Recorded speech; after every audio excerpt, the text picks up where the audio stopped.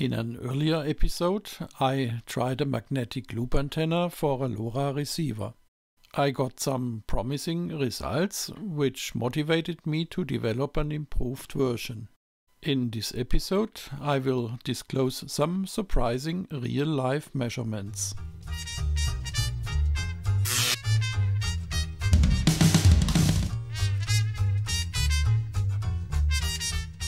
This video is an extra episode. We will talk about the properties of magnetic antennas and why these are advantages for our LoRa projects. I will briefly recap episode number 14 and I will explain why the results were promising. Next I will introduce an improved version of the magnetic loop antenna. After that I will explain the principle and the measurement results of the improved version. You will see a proper working test antenna in this episode. And there will be a follow-up in the next episode where we will have a proper DIY plan. Finally, together with impedance measurements and the radiation patterns in three-dimensional space, we want to better understand the surprising performance. Magnetic antennas are practically a short for direct current and low frequencies. They tend to have only a narrow frequency passband around their resonance frequency. These properties help to protect the receiver front end from electrostatic discharge and with the narrow frequency passband they filter out unwanted signals or noise. This might help LoRa receivers to improve the selectivity a bit. Besides the higher resilience, we should get a slightly better gain compared to an electric monopole dipole antenna. Initially, this was my motivation to create a first prototype. At this point in time, I was not aware that there would be other surprising advantages that I did not expect. Of course, there is also disadvantages to mention. Since the passband is narrow, we need to adjust the antenna resonance exactly to our LoRa frequency band. In episode number 14 we tested out a number of different antennas. We used our LoRa receiver with web server and the two sensor entities. I recorded the data through the serial interface. In case you are interested, please digest episodes number 7 to 13, which are explaining the concept, the hardware and the software build. The statistical analysis of the recordings showed already some interesting results. The signal to noise ratio was improved. Okay, that was so far expectable from a magnetic antenna. However, in addition, the standard deviation of the received signals was always significantly lower compared to electrical monopole antennas. This results in a more stable radio channel. I didn't really expect this. The only disadvantage with that early prototype is that its impedance matching is poor, so that the antenna gain is not satisfactory. Looking at the early results, I thought it would be worth it to improve the impedance matching, hoping to improve its gain with that measure. After some misconceptions, I found this principle that works really fine. The diameter D is about 110 millimeters for a resonance frequency of 866 MHz. Magnetic ring antennas typically have a high impedance of several hundred ohms which is giving us a strong mismatch to our 50 ohms coax receiver input. That's why I propose the impedance matching applying a quarter wavelength transformer which I kind of integrated into the ring to keep the antenna as small as possible. This measure also moves the actual antenna feed point from the bottom to the left side. This allows us to receive the vertical polarization of the signal. We will see in the next episode that uh, this is the secret also for another effect. There are many proposals for magnetic loop antennas out there. However, I haven't seen this particular idea yet. In case you have seen this concept before, please let me know. While the given antenna works really fine, I'm not yet completely happy with the mechanical construction. And you can see that I built it with an N connector. And with that I needed an adapter to my SMA connector at the receiver. I will try to improve this so that I can come up with a proper DIY plan in the next episode. The best way to judge antenna performance is the comparison with a reference in real life scenarios. I chose the comparison between a quarter wave monopole antenna and our new magnetic loop antenna. We have two transmitters to cover different wave propagation paths. The propagation path to transmitter 1 is a line of sight scenario within the same room.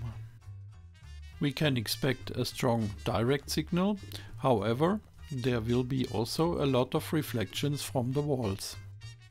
In the case of transmitter 2, the direct signal will be weak due to the attenuation of several walls.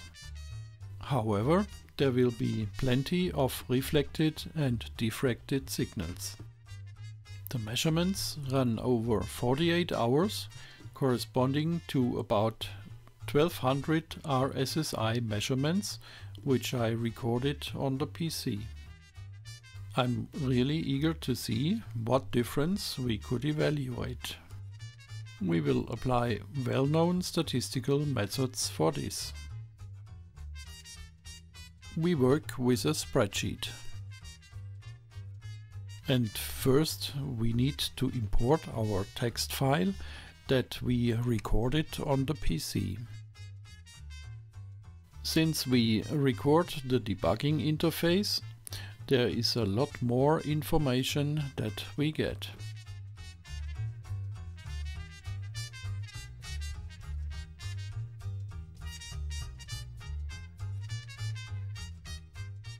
We use Excel's filter function. Let's see how we can do that.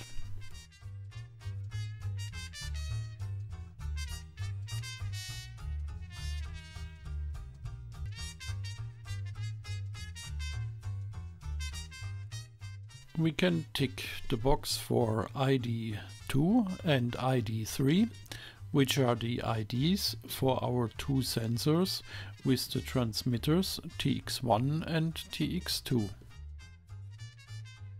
With that trick we filter out the lines that contain the LoRa RSSI besides the weather information and other stuff.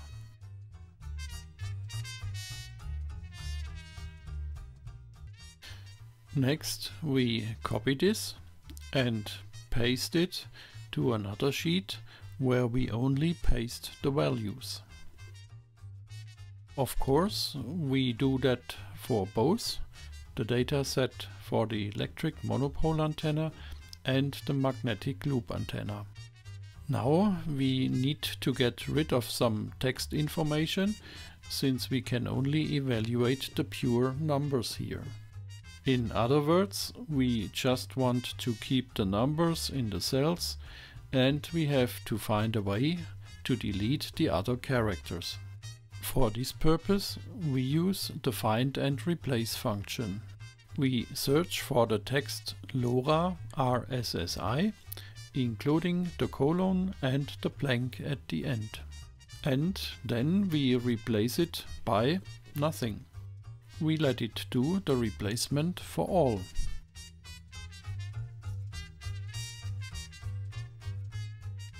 We can now format the cells as numbers and we can apply functions to our dataset. We can compute the standard deviation, the mean value, the median value, as well as the minimum and the maximum. But you know, I'm a great fan of graphical representations. I want to quickly explain how we can do this. Since the RSSI values are integer, we can make our life easy to calculate the distribution density and the probability. We insert a pivot table that is just counting the number of measurements that we get for each value. This gives us directly the distribution density that we want to show as a percentage. The probability is the integral value of the distribution. This is also very easy to calculate from the given values. And of course, we can create the graphics from it. As always, don't worry, you can download the complete data and the Excel file so that you will be able to relate to it. And of course you can also use the method for your own purpose. Let's see now what we can learn from our 48 hours evaluation. First we look at the outdoor scenario where we have no line of sight between transmitter and receiver. To my surprise, the graphical evaluations are looking significantly different for the two antennas. Okay, I expected that there will be a lower standard deviation for the magnetic antenna, but not such a significant difference. Then I expected a slightly higher antenna gain for the magnetic loop because of its radiation patterns. This would explain like 3 to 4 dB more signal strength. But what we see is a much better performance of the magnetic loop. For instance, in case we look for a high radio coverage probability, say 90%, we find the magnetic loop's performance being 18 dBs better. In a low coverage probability scenario, it would be still 13 dBs better. In our second scenario, we have line of sight between transmitter and receiver. As expected, we find a dominant direct signal that causes a smaller variation of the signal. In the case of the magnetic antenna, we can see that the peak is getting even higher than before. In the case of the electric monopole, we also see less signal variation. Overall, we can see that there is also a strong advantage of the magnetic loop over the electric monopole, but not quite as high as in the non-line of sight scenario. My conclusion here is that there must be an explanation, I mean other than antenna gain, for the better performance of the magnetic loop. We have to find out this in the next episode. With easy means we can calculate the important values that characterize the wave propagation path. It's the median value, the mean value, minimum, maximum, and the standard deviation of our RSSI data set. You can do that in a second with Excel standard functions. Our summary comparison shows us that our magnetic antenna performs a lot better than expected. A lower standard deviation means a more stable radio channel and with a higher signal strength we can achieve more range. The magnetic loop antenna performs a lot better in both parameters. But what is the reason for this? I can imagine that the radiation patterns play an important role here. In the case of the given magnetic loop, they are much more complex than we think at the moment. There will be a second episode about the magnetic loop antenna and I will analyze this a bit deeper then. The summary we learned how to carry out statistical performance evaluations for antennas in real life situations. According to our evaluation, we found that the given magnetic loop antenna is an interesting alternative to the usual electric monopole antennas. It provides a higher gain and a lower standard deviation and potentially less noise. These advantages lead to a more stable radio channel. A further analysis and a DIY plan will follow soon. Now stay tuned and don't forget to subscribe and support the channel. See you soon in the coming episodes.